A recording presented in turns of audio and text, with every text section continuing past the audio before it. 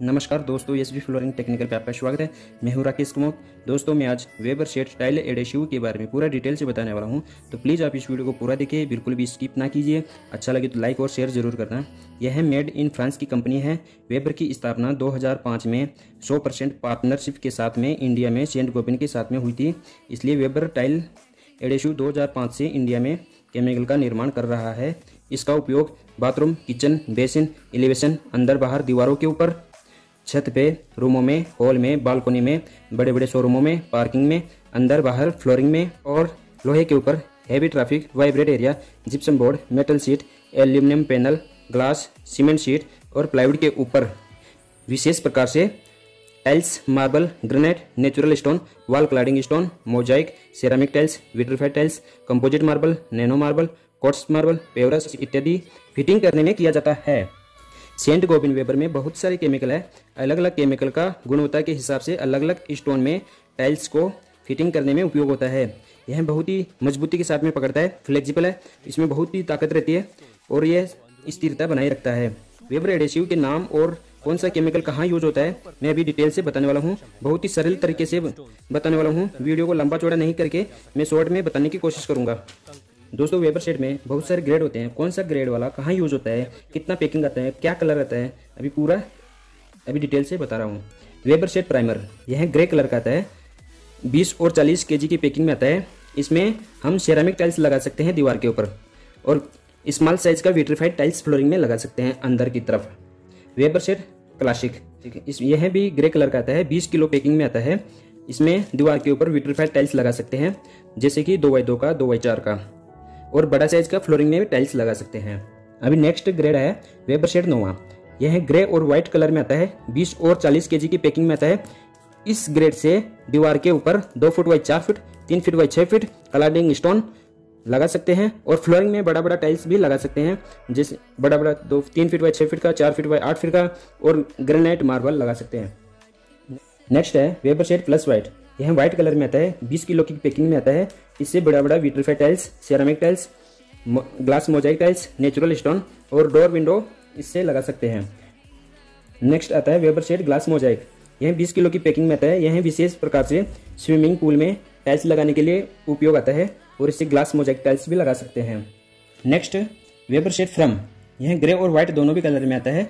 20 kilo और 30 kilo की packing में आता है। यह विशेष प्रकार से बाहरी एरिए में फिटिंग करने के लिए आता है। जैसे कि इससे अपन एलिवेशन में दो फुट बाई दो फुट की टाइल्स दो फुट बाई चार फुट का टाइल्स क्लाडिंग स्टोन ग्रेनेड लगा सकते हैं। और फ्लोरिंग में जहाँ पे धूप रहता है, वहाँ पे जैसे कि छत के ऊपर बालकोनी में ऐसा सेरामिक और विट्रीफाइड टाइल्स लगा सकते हैं। नेक्स्ट है वेबर सेट फास्ट फिक्स यह 20 किलो की पैकिंग में आता है। अपने को जहाँ पे बहुत अर्जेंट काम करने का रहता है, जैसे बड़े बड़े शोरूमों में कमर्शियल एरिया में, जहाँ पे अपने को बहुत फास्ट काम करने का रहता है, वहाँ पे बाहर के एरिया में, अंदर के एरिया में टाइल्स फ्लोरिंग दीवार का टाइल्स फ्लोरिंग टाइल्स वो लगा सकते हैं, जिससे आना जाना में कोई अड़चन ना हो। नेक्स्ट है वेबर सेट फ्लैक्स यह ग्रे कलर में आता है। 20 किलो का पैकिंग रहता है। अंदर और बाहर के लिए कहीं पर भी लगा सकते हैं। इससे ग्रेनाइट मार्बल बड़ा बड़ा टाइल्स लगा सकते हैं।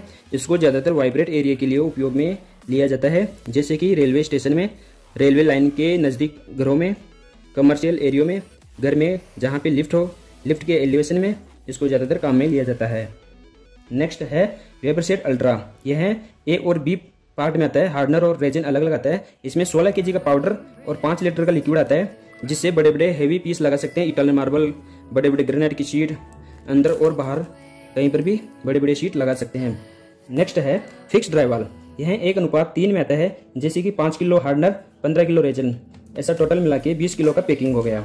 यह विशेष प्रकार से सीमेंट सीट और प्लाईवुड के लिए उपयोगी है। जैसे कि प्लाईवुड के टप्पे के ऊपर अपने को ग्रेनेड लगाने का रहे या फिर प्लाईवुड के काउंटर के ऊपर या फिर प्लाईवुड के वॉल के ऊपर अपने को ग्रेनेड या मार्बल या टाइल्स लगाने का रहे तो उसके लिए विशेष प्रकार से फिक्स ड्राइवल उपयोग में लिया जाता है। नेक्स्ट है इपॉक्सी एडिसिव यह एक अनुपात चार में आता है, जैसे कि पाँच किलो हार्डनर, बाईस किलो रेजिन यह छोट और भी छोटे पैकिंग में भी आता है। यह विशेष रूप से high traffic gypsum board metal sheet aluminium panel glass plywood iron, इन सभी के ऊपर ग्रेनाइट, मार्बल और टाइल लगाने के लिए इस केमिकल का उपयोग किया जाता है। जैसे कि लोहे का कॉलम हो तो उसके ऊपर भी इस प्रकार का केमिकल से टाइल्स लगा सकते हैं। यह फ्लेक्सिबल है, बिल्कुल भी जगह नहीं छोड़ता है। अंदर और बाहर के लिए बहुत ही उपयोगी है। इससे अपन सीलिंग के ऊपर पत्थर भी लगा सकते हैं। बहुत ही हेवी एडिशिव है।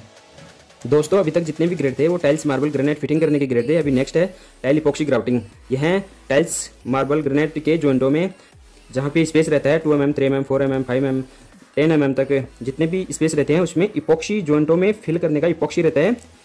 वो दो प्रकार के आते हैं थ्री कंपोनेंट और टू कंपोनेंट थ्री में रेजिन हार्डनर और पाउडर आता है, जिसको अपने को जब ज़रूरत रहती है, अपन जब भरते हैं, तब तीनों को मिक्स करके भरते हैं। और टू में एक मिक्स वेसो रहता है और एक हार्डनर रहता है तो दोनों को मिक्स करके उस टाइम भरा जाता है। यह अंदर बाहर के लिए, दोनों के लिए उपयोगी है।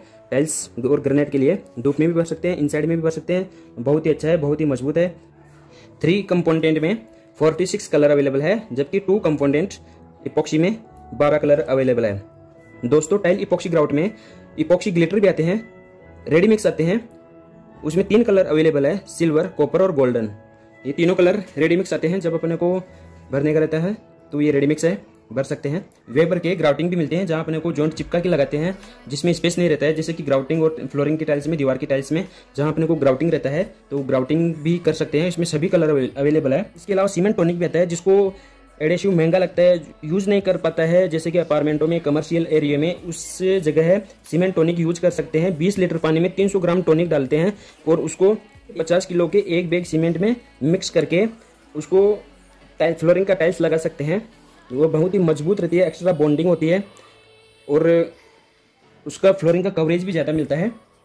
इसके अलावा भी वेबर में ब्लॉक के एडेसिव भी मिलते हैं सेरा क्लीनर भी मिलता है टाइल्स साफ़ करने के लिए वाटर प्रूफिंग के भी मिलता है स्पेसर मिलते हैं ट्रेवल मिलते हैं। प्रकार से वेबर में बहुत सारे केमिकल मिलते हैं अलग अलग ग्रेड के अलग अलग मेटेरियल के लिए अलग अलग जगह के लिए बहुत सारे केमिकल मिलते हैं।